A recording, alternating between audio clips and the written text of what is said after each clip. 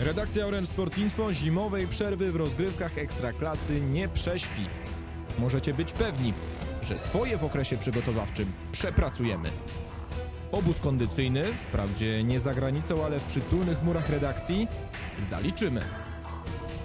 A od 6 stycznia w każdy czwartek i poniedziałek od 20.15 Zapraszamy na magazyn Ekstraklasa Raport. będziecie mogli oglądać efekty naszej pracy w magazynie Ekstraklasa Raport, gdzie dogłębnie przemaglujemy wszystkie kluby naszej ligi. Nie od dziś wiadomo, że podstawą jest rozpracowanie rywala, w naszym przypadku piłkarza. My nie mamy przed tym żadnych oporów. Wchodzimy z butami do ich mieszkań i domów. Z samochodów i toreb z zakupami. Znamy ich żony i dzieci.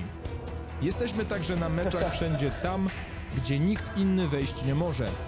W szatni, na korytarzu, w trenerskiej kanciapie, Maciek w Warszawie sobie kupi no. a na końcu, razem z wami, wszystko konsumujemy w studiu. To nie trzeba trenować, to nie, to nie trzeba trenować, to trzeba dzwonić, nie? Chodzi o to, że...